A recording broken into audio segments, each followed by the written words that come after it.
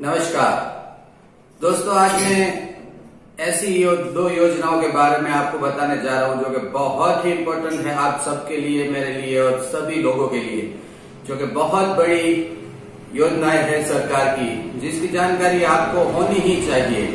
तो सबसे पहले मैं आपको बता दूँ कि ये योजनाओं के बारे में आप सभी को शेयर ज़रूर कीजिएगा और सभी जगह पे ये फॉरवर्ड ज़रूर कीजिएगा ये मैसेज आज हम दो योजनाओं के बारे में जानेंगे। दोनों एक दूसरे से काफ़ी करीब है। एक है मुख्यमंत्री अमृतम योजना, जिसको शॉर्ट में माँ कहते हैं। और उसी योजना को एक्सटेंड करके मुख्यमंत्री अमृतम वात्सल्य कार्ड योजना, ये दो योजनाओं के बारे में आपको जानना बहुत ज़रूरी है। ज़रूरी क्यों है? ज़रूरी इसलिए है कि हम सभी के घरों में कोई ना कोई वडील हो या कोई और हमारे मेंबर्स कभी ना कभी तो बीमार ज़रूर होते हैं। यानी कि बीमारी हर घर का एक हिस्सा ही है। और आप सब जानते ही है कि अगर एक बार हम बीमार हुए और कोई किसी बड़े प्राइवेट अस्पताल में गए तो बहुत ही ज़्यादा खर्चा होता है। यानी कि हमारे पूरे लाइफ का जो भी थोड़ा सेविंग्स होता है, वो उसी में चला जाता है। या कई गरीब परिवार इतने पैसे कभी इकट्ठा ही नहीं कर पाते। तो इसी को देखते हुए सरकार ने बहुत ही शानदार योजना की है, जिसको माँ, यानी कि मुख्यमंत्री अमृतम योजना कहते हैं। पहले थोड़ी जानकारी उसके बारे में ले। तो मुख्यमंत्री अमृतम योजना 4 सितंबर 2012 को शुरू की गई थी। इस योजना में बीपीएल यानी कि पिलो पोवर्टी लेवल, यानी कि गरीबी रेखा के नीचे जो लोग आते हैं, उसको लिया गया था। और ऐसे लोग, अगर किसी प्राइवेट हॉस्पिटल में भी, जो कि सरकार के साथ संलग्न है, ऐसे हॉस्पिटल में भी बीमारी के दरमियान अपना इलाज कराते हैं तो पाँच लाख रुपए तक का कैशलेस इलाज होता है। सही सुना आपने दोस्तों, पाँच लाख रुपए तक का अगर आपका बिल होता है, और आपके पास अगर ये माँ कार्ड या वात्सल्य कार्ड है तो आपको एक पैसा भी नहीं चुकाना। इसी माँ योजना को थोड़ा एक्सटेंड करते हुए, थोड़ा आगे बढ़ाते हुए 15 अगस्त 2014 में वात्सल्य योजना डिक्लेयर की गई। ये योजना में क्या हुआ? क्या डिफरेंस है? तो इस योजना में मिडिल क्लास यानी कि मध्यम वर्गीय परिवारों को भी ऐड किया गया है। यानी कि जिसकी आमदनी वार्षिक चार लाख से कम है अगर आपकी एनुअल इनकम चार लाख से कम है तो आप वात्सल्य कार्ड निकल सक, निकाल सकते हैं यानी कि आप इसमें मेंबर बन सकते हैं। किसी एक फैमिली के पाँच मेंबर ज़्यादा से ज़्यादा बन सकते हैं। और आपके पास अगर ये कार्ड है तो अगर किसी हॉस्पिटल में आप भगवान न करे जाना हुआ तो आप पाँच लाख तक का कोई भी खर्चा आपको देना नहीं होता। है ना? बहुत ही ज़्यादा शानदार ये योजना सरकार की ओर से, खास करके गरीब और मध्यम वर्गीय परिवारों के, परिवार, परिवारों के लिए।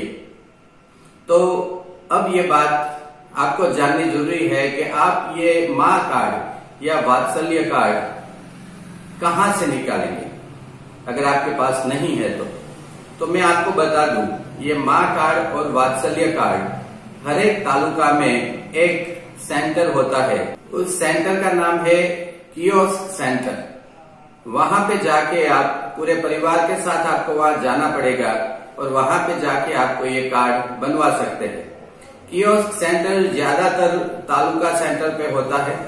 और ये सेंटर या तो गवर्नमेंट हॉस्पिटल में हो सकता है, या फिर किसी जो गवर्नमेंट पूरी ऑफ़िस का एरिया होता है, यानी कि मामलतदार कचहरी होती है, या फिर तालुका विकास अधिकारी कचहरी होती है, तालुका पंचायत होती है, यहीं पे कहीं पे ये कियोस्क सेंटर चलता होता है जनरली तो वहाँ पे जाके आपके पूरे परिवार के साथ आपको जाना है, सबकी फोटोग्राफ ली जाएगी, और खास करके आपके बायोमेट्रिक यानी कि आपके थम के निशान लिए जाएँगे ये बायोमेट्रिक की वजह से फ्रॉड होने का चांस बहुत कम हो जाता है। हाँ तो दोस्तों, माँ वात्सल्य कार्ड निकालने के लिए आपको कौन कौन से डॉक्यूमेंट्स चाहिए, ये जानना ज़रूरी है।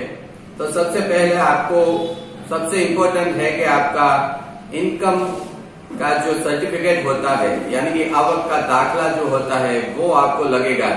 यानी कि आपकी आवक चार लाख से कम है, ऐसा सर्टिफिकेट आपको दिखाना पड़ेगा या देना पड़ेगा। ये सर्टिफिकेट आपको कलेक्टर से या नायब कलेक्टर से या विकास अधिकारी से, तालुका विकास अधिकारी पीडीओ होते, या मामलतदार से, या नायब मामलतदार से, या ऐसे ही कोई ऑफिसर से आपको मिल जाएगा। और आपको ये अमृतम कार्ड माँ कार्ड या वात्सल्य कार्ड दोनों मिल सकते हैं। तो अगर आपने आज तक नहीं निकाले हैं तो जल्दी से जल्दी आप चाहिए और अपने फैमिली को बीमारी से, खास करके आपको जो आर्थिक फटका लगने वाला है, उससे अपने परिवार को आप जल्दी से जल्दी बचाइए और ये कार्ड ज़रूर निकालिए।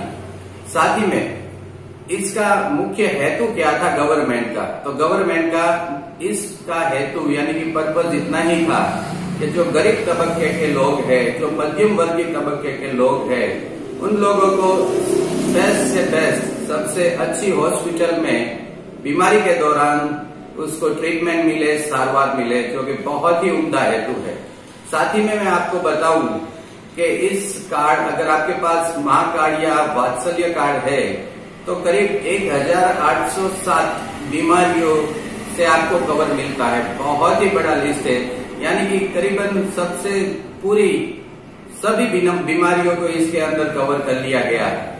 और साथ में आपको यह भी जानना ज़रूरी है दोस्तों कि इसमें कौन कौन से खर्चे आपको मिलते हैं। तो अगर कोई बीमार हुआ, आपने कोई प्राइवेट हॉस्पिटल जो कि गवर्नमेंट के साथ संलग्न है और या कोई सरकारी हॉस्पिटल में आप गए तो ट्रांसपोर्टेशन के तीन सौ रुपये आपको मिलेंगे।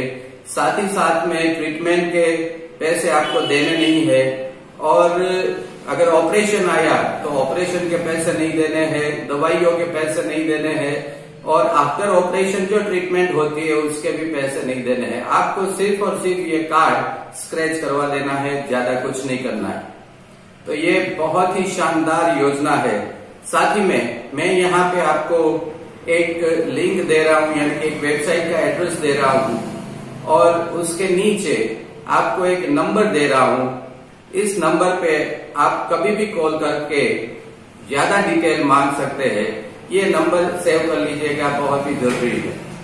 अगर आप कोई छोटे गाँव में रहते हैं और आप चाहते हैं कि आपके पूरी कम्युनिटी का या सबका ऐसा माँ कार्ड या वात्सल्य कार्ड बने तो इस नंबर पे कांटेक्ट कीजिएगा। ये नंबर वाले भाई साहब आपको बहुत हेल्प करेंगे।